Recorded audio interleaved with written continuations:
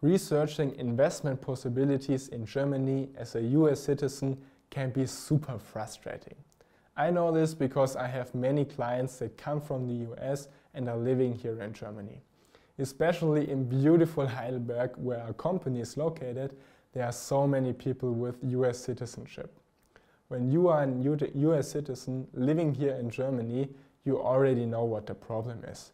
Due to special regulations for US citizens, bank and investment relationships are difficult for you. This starts with opening up a bank account, but is especially relevant for investing here in Germany. Because the regulation requires so much extra reporting for the bank, it has become very hard to open up an investment account. And even when you manage to open one, you are still very restricted on what investment you choose and have to be very careful about double taxations for the funds traded there. And I am not a tax advisor, but I know that the tax implementations are very complicated with a traditional investment account. What I have specialized in is showing my clients how they can invest their money profitable and long term without having to do an extra tax declaration every year or getting in trouble with bank regulations. And don't get me wrong, I have nothing against a broker account. We also offer broker accounts for our clients, but for US citizens, this is horrible. The good news is that the FATCA regulation has left one hole that has not been closed. When you invest through a pension plan, the investment all of a sudden is not a problem anymore. So when you want to invest in an ETF, for example, through a broker account, you are denied to open one, slash you cannot buy the ETF, slash you have massive negative regulatory consequences. But when you invest the same ETF in a pension plan, feel welcome to do that.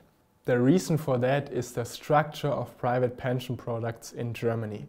Because you have an insurance acting as an umbrella, you have to pay zero capital gains tax while the money is in the plan compounding, which leads to you not having to do an extra tax declaration nor being subject to double taxation.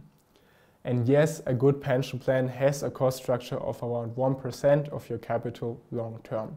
And of course, you have more fees than with a broker account. But the plan not only provides you massive tax benefits and additional services, mainly you have no work and no headache with it. You just pay your monthly contribution and the money compounds itself in the plan and works for you. There are different pension plans in different structures, I have made a separate video about that. Important note, because of the regulations, very few insurance companies offer fund investing for US persons, but there are good options. The easiest way to see what investment and what plan makes sense for you is to go to our website for US citizens, which I have put in the description, and book yourself a free initial consultation with us where I show you what plans and options are available for you and also make sense in your individual situation.